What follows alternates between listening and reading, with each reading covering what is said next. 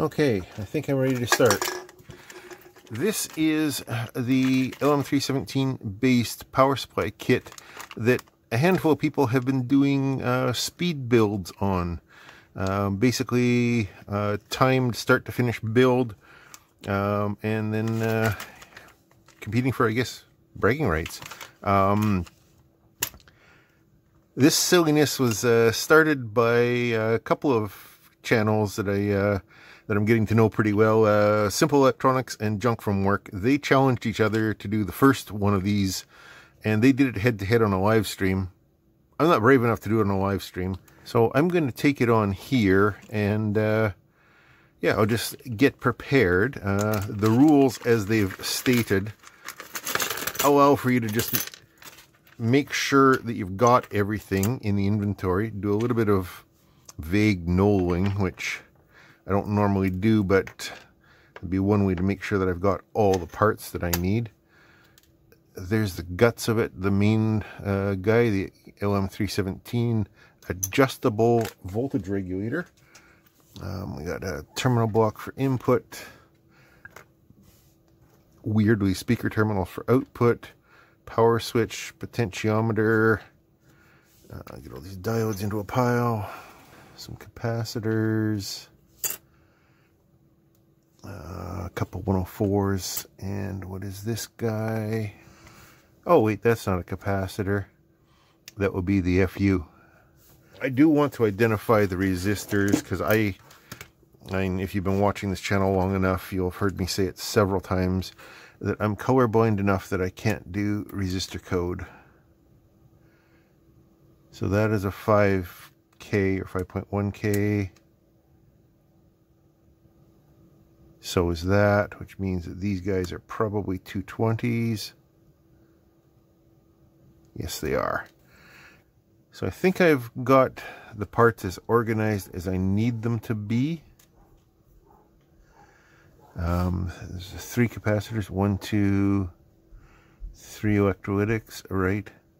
Oh, a transistor. Uh-oh. This is a problem. Where'd the bag go? There's no transistor in there. Oh, shit. 2N5551. Fortunately, I have my own parts, and in my parts collection, I have some some 5551s. So this is not a showstopper. And people ask me what I do with all this uh, random parts that I buy in, and uh, bring into my mail bags.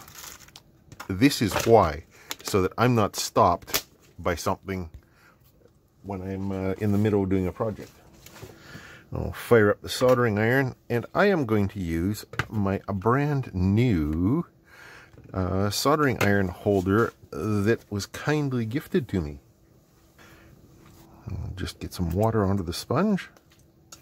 And I'm going to use this little silicone heat pad that came with the uh, with the iron holder so that I can uh, solder straight onto here and not have to dick around with uh, with a holder or anything.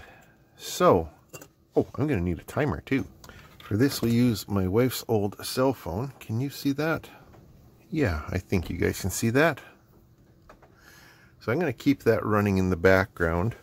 Um, Going to try not to uh, try not to screw up too badly here. So, are we ready? That's ready, that's ready, that's ready. Go, let's start with the transistor, just for no apparent reason. It's already on the floor. This is off to a good start. Why am I starting with that? I don't know. It was the first one that came to mind. Okay, I think I'm going to just stuff a bunch of things into the board and uh, deal with them or solder them as I decide to. There's that. Where's these old 104 capacitors? I don't know if this is going to be a winning strategy or not. 41 seconds in. C3. My hands are shaking. I shouldn't be nervous. Because there's absolutely nothing but bragging rights on the line here. Uh, that thing keeps dimming. That's not good. I'm going to have to keep... So that's the little fusey thing. Um, let's get... What were these? These were the... Oh shit, that was the 5K resistor, wasn't it? 5.1K. Which is, looks like it's the current limiting for the LED. This is going to be ugly just because I'm in a hurry. These are the 220 ohm resistors, which are going to go there. I don't know. I mean, it's entirely... Holy shit. That resistor's the wrong size to fit in there. Okay, I'm going to go like some of the old... and mount that vertically. Like some of the old consumer radio stuff. Okay, that's close enough. Diodes, sure. Minute and a half. Um, diode D3. Oh, I'm not bending these very well at all. The pressure's getting to me, man. Again, why is that not working, not fitting properly? Fine. I'll put it vertically as well. It's perfectly acceptable. Hopefully the four diodes that make up the bridge are uh, a little bit better here. We'll see. The holes are a little bit better. Come on, get in there. Yes, their spacing's better. Good. Of course I got an email in the middle of recording this. Well, there's no backing out now. What am I at? 245.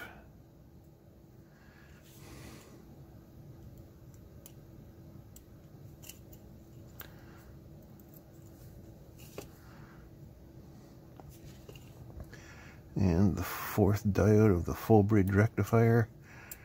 Insert your own ElectroBOOM sound effect if you choose to. Um, I think that's enough for now. I'm just going to give this quick solder because this is starting to get a little bit polluted on the backside here.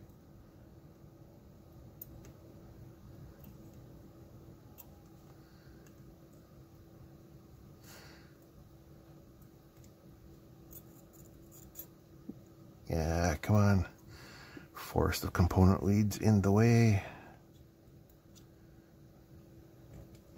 This is not going to be my prettiest work. Of course not. What are we at? 340? Wow, time flies when you're uh, under the gun here. Come on.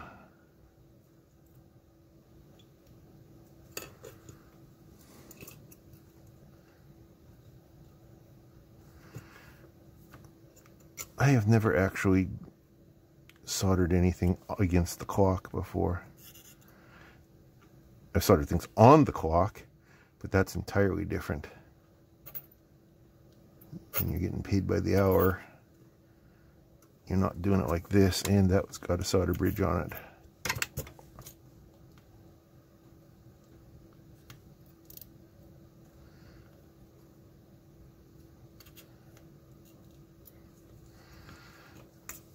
You know what I didn't grab? Is my cutters. Stop timing out, you.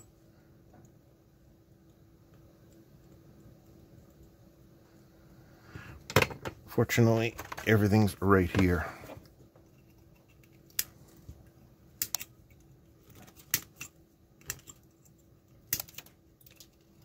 Hope none of those land in my beer.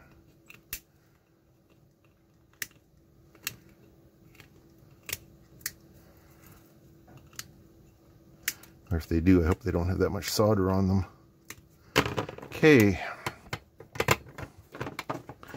That's going uh, interestingly. Capacitors next. Um, this one, which is 10 microfarads, negative to that side, get in there. This one, which is 470 microfarads. 535. And this big honker, 220 microfarads. You get in there too. Um, yeah, might as well solder those guys down and then we'll carry on with the uh, with the things that are going to take a little bit more heat. Come on. Solder, you. Is that on a ground plane? I think it is. Uh,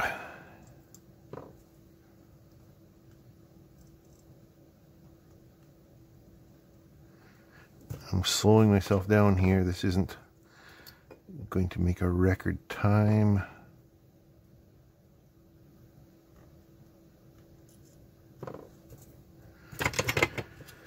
Okay, I would like to stop and have a sip of beer, but I think I'll just have a good, uh, good swig at the end. Okay, potentiometer in there. Just gonna cack that over for now. Um, switch, power switch. Get in. Okay, input terminals over there. Hmm.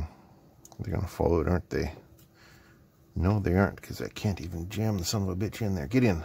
Okay.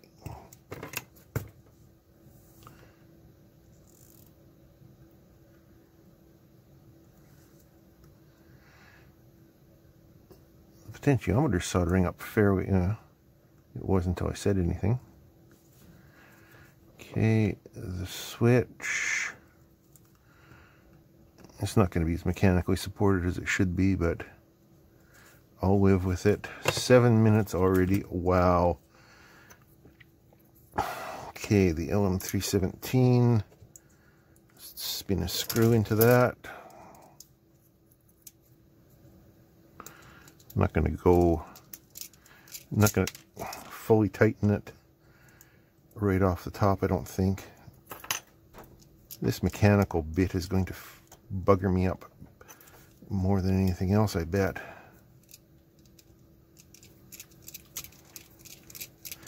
There we go. I'm just going to go about 90%. Stuff it in the holes. Solder it up. And then figure it out later. Okay, that's that. Now it's not going to fall out.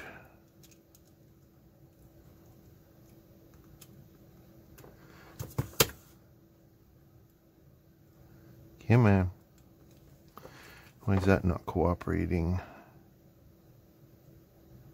There we go. Okay, now we'll solder down the heat sink because it's also an electrical connection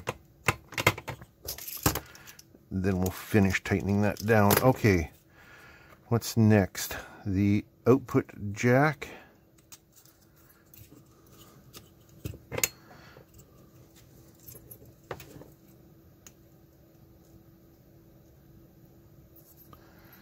Yeah, man. Okay, that's electrically on there. What do we got? 926.